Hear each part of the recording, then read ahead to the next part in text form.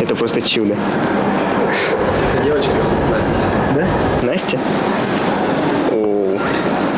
Прям как в кино. Нереально. Ощущение просто на всю жизнь.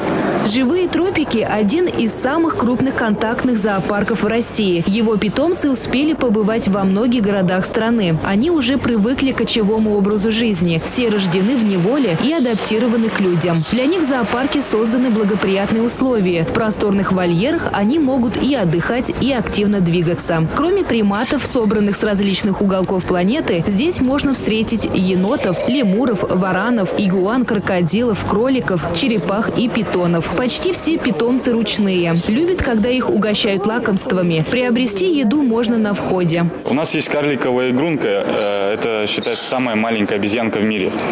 То есть она размером не больше э, указательного пальца человека. То есть на нее можно вживую посмотреть. То есть она в террариуме как себя ведет, как живет. Вот. А бурый капуцин, зовут Петя, вот он у нас. Он абсолютно ручной, как видите. Сидит, занимается своими делами. Очень общительный, очень любопытный. Даже поющий попугай есть. Это желтохохлый кокоду, э, зовут его Гоша. Он у нас поет посетителям калинку-малинку.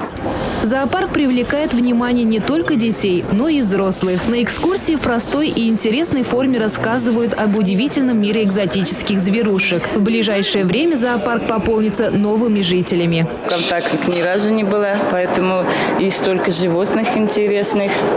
И даже вот потрогать можно такое вот нежненькое. Я даже змею первый раз потрогала, никогда такого. Ой, боялся. Большое спасибо за такое. Это еще буду приходить. Очень понравилось мне. Контактный зоопарк уникален тем, что позволяет современным детям окунуться в мир природы. Очень полезно посещение контактного зоопарка ребятам с особенностями развития. Для них и для детей-сирот вход бесплатный. Также действует скидка на групповое посещение от 10 человек. Попасть в удивительный мир животных можно до 1 апреля. Контактный зоопарк находится на цокольном этаже торгово-развлекательного центра «Мегамол». Олеся Русакова, Игорь Зверев, Республика.